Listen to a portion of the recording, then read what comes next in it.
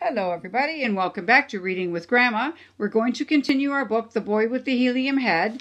We left off with Jonathan floating in the air and the doctor giving him a sign, a piece of paper that says, No crawling in chimneys, obey all traffic signals, and watch for low ceilings, and to drink plenty of water and keep your shirt on, the other doctor said.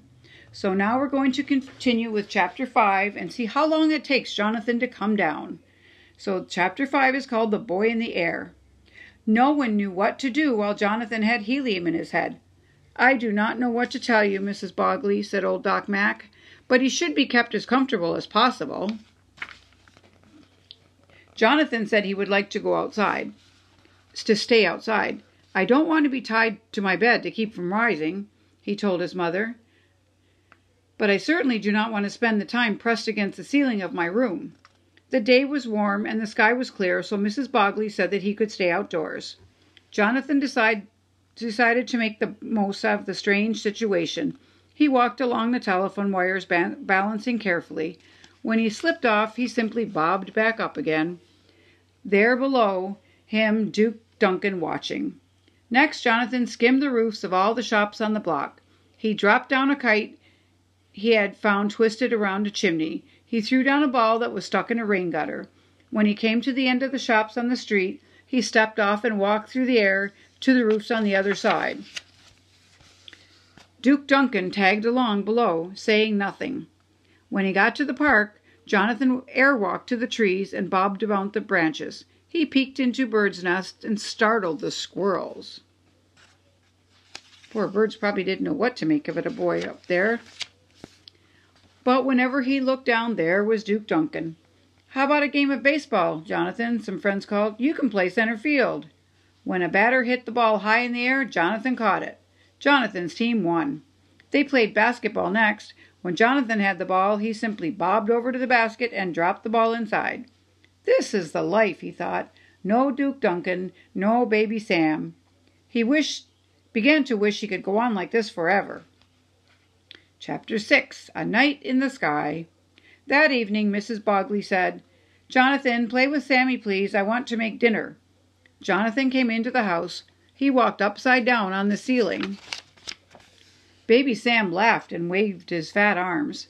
Mrs. Bogley made a chicken pie and a salad.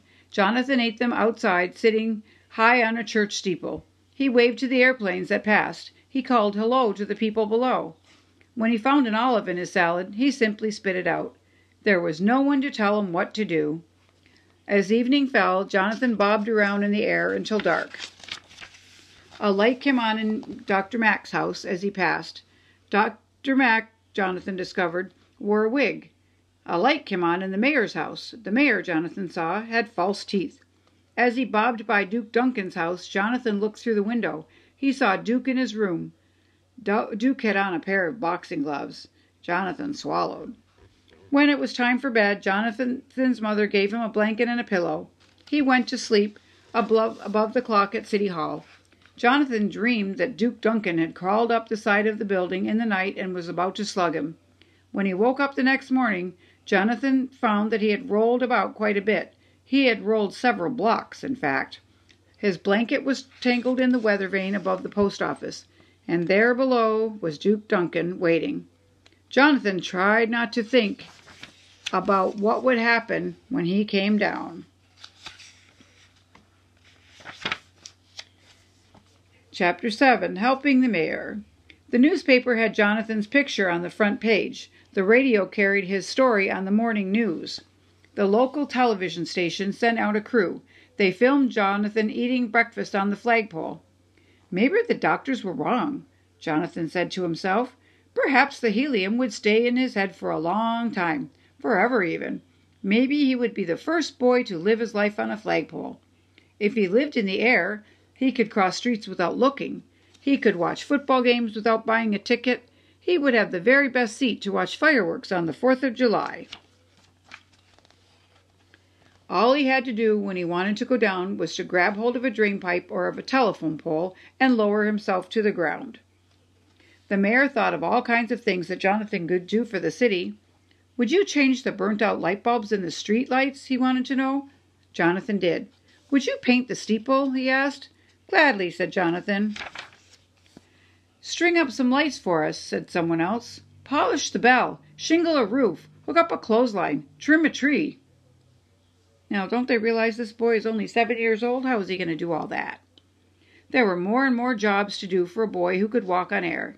Some space scientists came from Washington. They wanted to see if Jonathan could put on his socks and shoes while bobbing above overhead. They wanted to know if he could drink a glass of milk upside down. Chocolate, please, said Jonathan, and he did just fine. He even saw some robbers running out of the bank. Because he was up high in the air, he saw where they went. He told the police, and the robbers were soon in jail. Wonderful job, said the chief of police. Wonderful job indeed. If only the fun would last. Chapter 8 Coming Down. By two that afternoon, however, before he had done half the things he would like, Jonathan began to sink. By three he was no higher than the fir trees. By four he was as low as the roof on this house. By five he had reached the window frames, and by six his feet were touching the ground. Duke Duncan was there, but so was a brass band. Jonathan was given a ride around town on a fire truck. Baby Sam waved one fat fist at him from the from his stroller.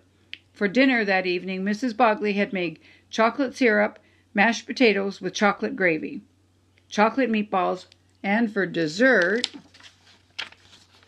a big chocolate layer cake topped with chocolate ice cream and chocolate fudge sauce. They listened to the story of the boy with the helium head on the evening news. They saw the tape of the parade and with Jonathan waving to the crowd. On Monday, however, everyone seemed to have forgotten about Jonathan. The newspapers had been thrown out with the morning trash. The brass band was playing in another town. The TV was talking about Texas and taxes. Jonathan Bogley was just another boy with big feet. But Duke Duncan didn't forget. When Jonathan got to school, Duke was waiting. When Jonathan sat down, Duke stood up. When Jonathan stood up, Duke stood up.